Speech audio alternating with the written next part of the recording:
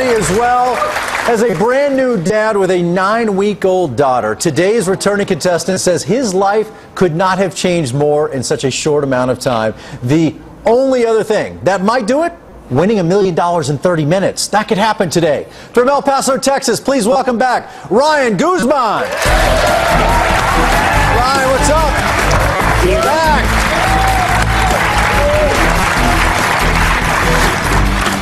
Um, a million dollars would be great, but you just got Yeah. the greatest gift you'll ever get. You got a little girl.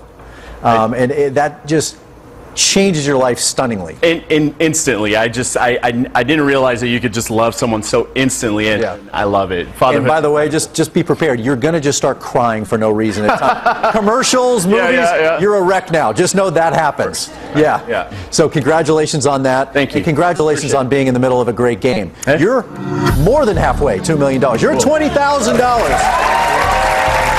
You're just six questions away from $1 million. Six questions away from the big prize, two questions away from that $50,000 threshold. One more lifeline. You have your plus one behind you should you need it, but you're in great shape. Cool. Let's add to it. You got a college fund to make, right? Let's play. Who wants to be a millionaire? Okay, we pick back up with a $30,000 question.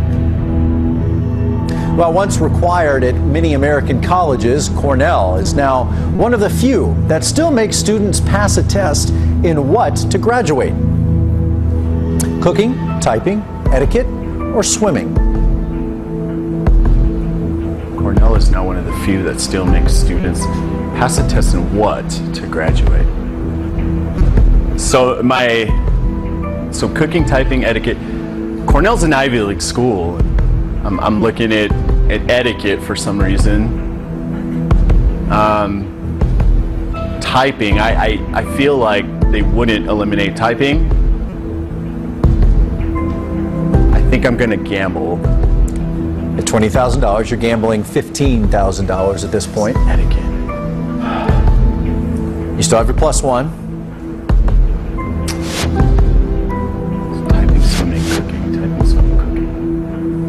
Cooking. I'm gonna go with C etiquette. Final answer. Took a gamble. Can you believe it's swimming? It's D, swimming.